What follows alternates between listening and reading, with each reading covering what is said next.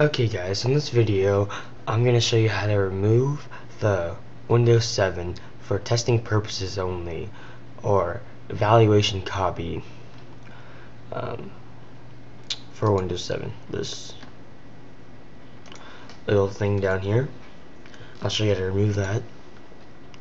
Um, even though it only says for build 7000 and 6956 it should work for 7077 too and any other one just choose the one that's closest to yours.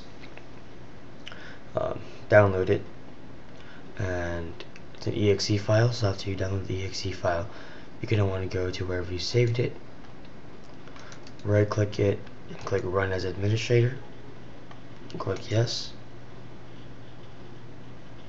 And then push any key to remove the watermark and it should say removing watermark now.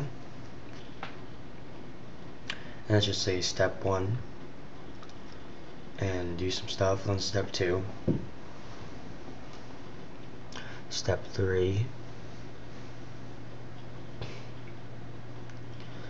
Uh, if it says the system cannot find the path specified um, I'm pretty sure that's supposed to happen because I have removed my watermark on the, my other computer.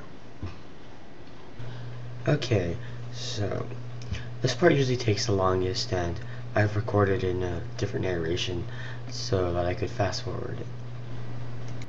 And uh, this is Windows 7 watermark removed without any error.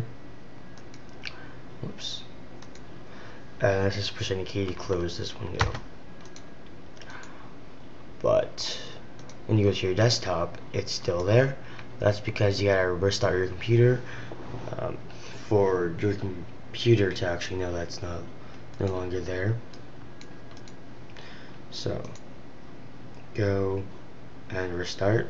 So you restart your computer and once it loads back up you notice that there's no more watermark down here in the corner.